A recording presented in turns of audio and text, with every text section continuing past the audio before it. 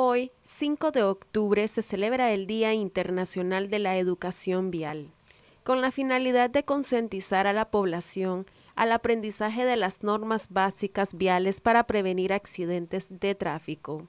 En la celebración del Día Internacional de la Educación Vial se lleva a cabo diversas actividades por parte de organismos e instituciones gubernamentales y privados, enseñando a conductores y peatones a respetar las normas del tráfico para reducir el riesgo de accidentes viales. La educación vial o educación para la seguridad vial consiste en la transmisión y aprendizaje de conocimientos relacionados con la adquisición y desarrollo de competencias y capacidades. La educación vial o educación para la seguridad vial consiste en la transmisión y aprendizaje de conocimientos relacionados con la adquisición y desarrollo de competencias y capacidades orientadas a promover la seguridad vial y prevenir accidentes de tráfico estrategias de prevención vial, normas de tráfico, políticas de precaución. Con ello se pretende promover una cultura vial a fin de preservar la vida de los conductores y peatones.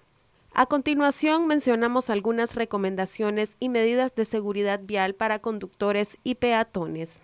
No utilizar el móvil al conducir o al cruzar a pie una calle o avenida.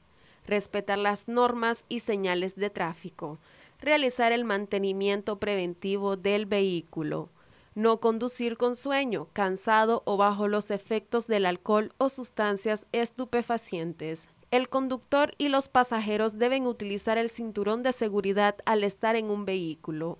Conservar una distancia prudencial entre vehículos al conducir. Evitar cualquier tipo de distracciones al conducir respetar los límites de velocidad máxima establecidos al conducir, utilizar el rayado peatonal y puentes peatonales, respetar el semáforo peatonal en rojo, los peatones deben caminar por las aceras. Para noticias 12, Nora González.